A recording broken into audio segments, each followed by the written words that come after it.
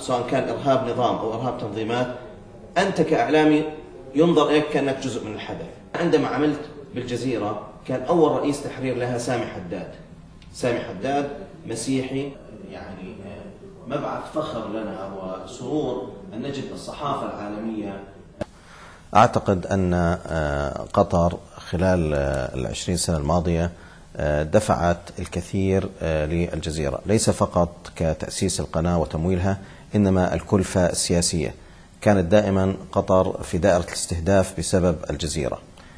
وأنا كمشاهد عربي أولا وكأحد العاملين في قناة الجزيرة مدين لقطر بأنها دفعت هذه الكلفة خدمة للمشاهد العربي. 13 موقف غير مسبوق في الصحافة العالمية إلا إذا أنا أطالب بنقاش مع الجزيرة. أنا أطالب بمحاسبة الجزيرة.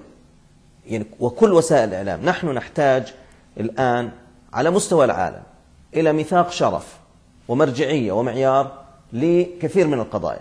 منها قضية الإرهاب.